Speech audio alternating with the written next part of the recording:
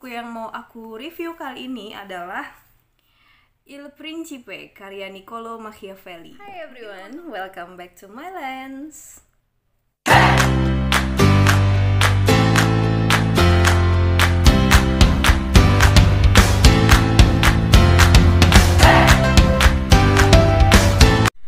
Hari ini aku mau mereview sebuah buku legendaris lagi di dalam dunia ilmu politik. Tapi sebelumnya aku mau berterima kasih dulu buat teman-teman yang udah gabung di My Lens Mini Talk setiap hari Minggu jam 9 malam.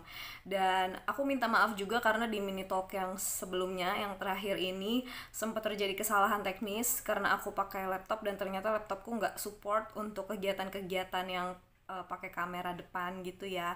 Jadi koneksinya agak nggak stabil dan akhirnya uh, beberapa kali obrolan tuh sempat terputus gitu teman-teman. Tapi uh, ini jadi pelajaran juga buat aku. Berarti besok-besok aku lebih baik pakai handphone aja gitu ya. Namanya juga masih belajar ya. Kegagalan itu bagian dari proses. Tapi tetap obrolannya seru banget teman-teman. Karena special guest aku Kak Santi itu ternyata punya wawasan yang sangat luas tentang dunia filsafat dan bagi teman-teman yang masih penasaran mau lihat-lihat lagi boleh juga dilihat di My Lens Mini Talk yang ngobrolin bacaan filsafat. Oke, okay, aku mau langsung saja mereview buku yang ternyata legendaris ini. Bukunya judulnya Il Principe. Mungkin teman-teman juga udah pernah dengar ya. Ini adalah tulisan Niccolo Machiavelli. Langsung ditulis oleh dia pada zamannya dan bagi teman-teman yang belum pernah dengar Niccolo Machiavelli, dia ini termasuk salah satu filsuf abad um, era modern awal. Jadi dia early modern. Nah, um, specifically dia memang membahas soal uh, filsafat politik. Dan kalau misalnya teman-teman penasaran banget sama Niccolo Machiavelli, nanti bisa lihat di uh, review buku ini ya seperti apa sih kehidupan dia waktu dia masih hidup dan masih menjabat sebagai salah satu um, pemerintah di Florence di daerah Italia. Oke, okay, langsung aja kita simak sama-sama yuk review bukunya because reading can change your life.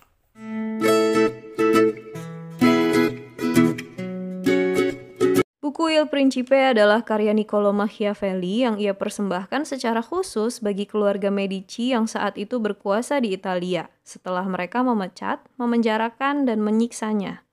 Pada saat itu Italia sedang mengalami dinamika politik yang luar biasa cepat dan Florence, salah satu negara kecil di Italia, mengalami perubahan bentuk pemerintahan dari yang mulanya berbentuk kerajaan menjadi berbentuk republik dan hanya dalam waktu beberapa tahun saja kembali berubah menjadi bentuk kerajaan. Machiavelli lahir di Florence pada tahun 1469 ketika Florence masih dipimpin oleh Lorenzo the Magnificent dari keluarga Medici. Tahun 1492, Lorenzo the Magnificent meninggal dunia dan pemerintahan keluarga Medici di Florence berakhir. Florence pun berubah dari negara kerajaan menjadi negara republik di mana pemerintahan diselenggarakan oleh rakyat dan Niccolo Machiavelli saat itu mengabdi pada pemerintahan Republik Florence. Ia menangani masalah diplomatik dan militer. Pada tahun 1512, keluarga Medici kembali menduduki tahta dan secara otomatis mengubah kembali bentuk pemerintahan republik di Florence menjadi kerajaan. Pemerintahan republik saat itu berhasil digulingkan dan Machiavelli ditangkap dengan tuduhan berkomplot dan berkhianat. Ia pun dipenjarakan bahkan disiksa selama menjalani masa tahanannya, namun, ia berhasil meyakinkan keluarga Medici bahwa ia tidak bersalah sehingga ia dibebaskan. Selanjutnya, ia menulis buku yang berjudul Il Principe atau Sang Pangeran di sebuah perkebunan kecil di daerah San Cassiano pada tahun 1513. Dan ia mempersembahkan buku ini bagi keluarga Medici yang berkuasa. Mungkin karena hendak dipersembahkan kepada keluarga penguasa itu, Machiavelli jadi enggan membahas tentang negara republik dalam bukunya ini. Pada bab 2 ketika ia membahas tentang kerajaan-kerajaan turunan, ia menuliskan kalimat pertamanya demikian. Saya tidak akan membahas mengenai negara republik karena saya telah membahas mengenai hal ini secara panjang lebar di tempat lain. Saya hanya akan membahas mengenai negara-negara kerajaan dan mendiskusikan bagaimana negara-negara kerajaan yang bermacam-macam tersebut dapat dijalankan dan dipertahankan. Jadi makin nampak jelas kan guys maksud Machiavelli menulis buku ini? Pada masa selanjutnya, buku ini banyak dijadikan pedoman pembelajaran oleh para penguasa yang terjun ke dunia politik dan pemerintahan, sehingga buku ini dijuluki sebagai buku pedoman para diktator. Machiavelli sendiri disebut-sebut sebagai bapak filsafat politik modern atau bapak sains politik.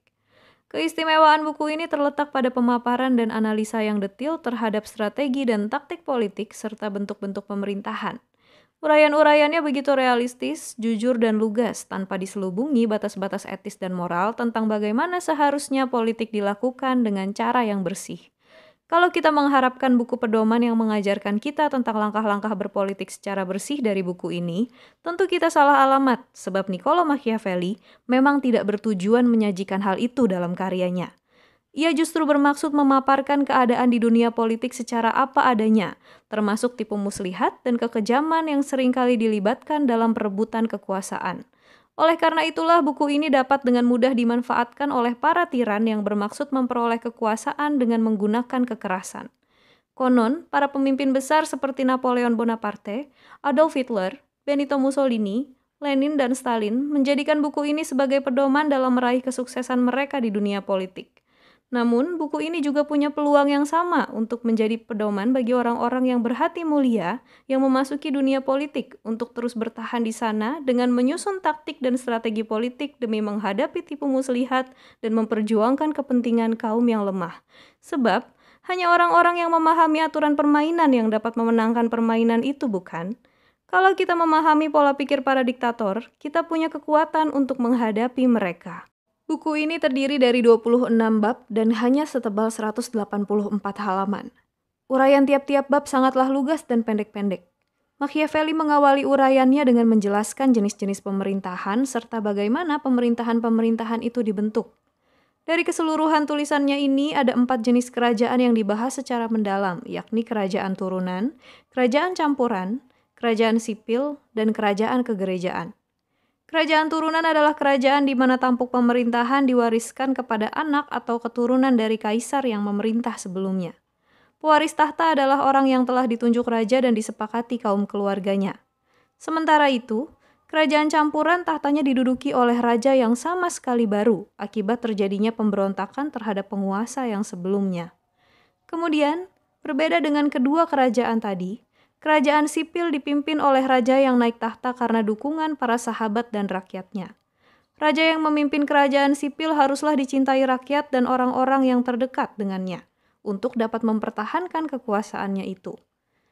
Salah satu raja kerajaan sipil yang cukup berhasil menurut Machiavelli adalah Nabis, pemimpin bangsa Sparta yang berhasil mempertahankan negerinya dari serangan bangsa Yunani dan Romawi dengan menghimpun kekuatan rakyat Sparta. Jenis kerajaan terakhir yang disebut oleh Machiavelli adalah kerajaan kegerejaan yang saat itu masih banyak berdiri di wilayah-wilayah Eropa. Kerajaan kegerejaan berdiri di atas landasan tradisi keagamaan yang sangat kuno dan sangat kuat, yang dipimpin langsung oleh Paus sebagai pemimpin agama. Kekuatan yang dimiliki oleh Paus ini melampaui kekuatan para pemimpin kerajaan kecil di Eropa, sehingga mereka menghormati otoritasnya. Dengan otoritas inilah, para pemimpin gereja meredam perseteruan raja-raja kecil di Eropa dan menjaga ketentraman di wilayah tersebut. Di kemudian hari, otoritas ini dimanfaatkan pula untuk melakukan ekspansi atau perluasan wilayah kekuasaan keluar wilayah Eropa. Machiavelli juga menjelaskan tentang hal-hal apa saja yang harus dilakukan seorang pangeran atau seorang penguasa yang menduduki tahta kerajaan seperti bagaimana para penguasa harus mengatur dominion-dominion mereka, kewajiban mereka untuk mendalami bidang militer, serta bahwa mereka tidak dapat mengandalkan wibawa mereka semata sebagai seorang pemimpin untuk menjalankan pemerintahan, melainkan harus membangun sebuah sistem hukum yang mengatur kehidupan bernegara dan berlaku bagi siapa saja. Bukan hanya soal menjalankan pemerintahan, hal-hal kecil juga perlu diperhatikan oleh para penguasa, seperti bagaimana mereka harus menghindari sanjungan, bertingkah laku untuk meningkatkan reputasi, atau bagaimana mereka harus berhati-hati dalam mempercayai orang lain, termasuk kaki tangan mereka sendiri. Sebab pengkhianatan tidak terduga biasanya melibatkan orang-orang kepercayaan raja. Machiavelli mengakhiri tulisannya dengan menjelaskan mengapa para pangeran atau penguasa Italia kehilangan daerah-daerah kekuasaan mereka, serta seberapa besar keberuntungan mempengaruhi kehidupan seorang pemimpin. Bagi Machiavelli, orang-orang besar tidak mencapai kebesaran mereka karena keberuntungan, melainkan karena kesempatan yang diberikan kepada mereka dan yang mereka bentuk sendiri sesuai keinginan mereka. Dengan kata lain, setiap penguasa, demikian pula setiap manusia, berkuasa untuk menentukan takdir mereka sendiri-sendiri, dan itu semua tergantung dari bagaimana keterampilan mereka melihat kondisi serta memanfaatkan setiap peluang yang berhasil mereka ciptakan. Selain itu, ia juga mendorong para pemimpin Italia saat itu untuk membebaskan Italia dari barbarisme. Italia pada saat itu memang tengah menghadapi berbagai bahaya, di antaranya potensi perpecahan dan penindasan yang dilakukan bangsa lain, sehingga pemimpin yang naik tata diharapkan dapat menjadi penyelamat kerajaan ini. Pada akhirnya, Machiavelli mengarahkan para penguasa untuk menggunakan seluruh kekuasaan yang ada demi melindungi rakyat. Machiavelli wafat pada tanggal 21 Juni 1527 karena penyakit yang dideritanya, dan buku Il Principe dipublikasikan lima tahun setelah kematiannya, yakni pada tahun 1532. Salah satu pemikirannya yang cukup terkenal dari buku ini adalah bahwa lebih baik bagi seorang penguasa apabila ia ditakuti daripada dicintai. Sebab kekuatan cinta hanya mampu bertahan sampai seseorang mendapatkan apa yang ia inginkan. Sementara ketakutan selalu berhasil mengikat seseorang untuk menjalankan kewajibannya. Kendati demikian, jangan sampai seorang pemimpin dibenci, sebab kebencian hanya akan melahirkan perlawanan dan pemberontakan yang dapat dengan segera mengakhiri kekuasaannya. Itu tadi review bukunya teman-teman. Uh, bukunya tipis tapi berkelas banget ya uh, aku waktu baca buku ini tuh sempat beberapa kali sampai nyut-nyutan gitu teman-teman. Gara-gara aku mesti membayangkan situasi yang digambarkan di dalam tulisannya si Machiavelli ini seperti apa sih? Karena meskipun dia hidup di zaman uh, Italia waktu tahun 1400-an tapi tulisan ini juga menjelaskan tentang pengetahuan-pengetahuan dia tentang negara-negara yang sebelumnya termasuk Sparta, terus negara-negara Yunani dan uh, Romawi kuno dan itu semua uh, mesti kayak dicari-cari lagi emang waktu itu ada apa sih? Terjadi apa sih? Dan akhirnya meskipun ini bukunya tipis tapi bacanya jadi lama. Tapi aku senang sekali menyelesaikan buku ini karena setelah aku menyelesaikan buku ini aku jadi banyak banget uh, bertambah pengetahuan dan wawasannya terutama soal dunia politik gitu. Dan uh, it was amazing experience waktu baca buku ini. Dan aku harap dengan mereview buku ini dengan menonton ini juga teman-teman punya pengalaman yang amazing juga dan makin tertarik untuk belajar khususnya mungkin buku-buku yang bicara soal ilmu politik. Oke, okay, terima kasih semuanya. Jangan lupa juga nonton Mini Talk My Lens hari Minggu jam 9 malam. Jangan lupa juga terus baca dan baca buku because reading can change your life. Bye bye.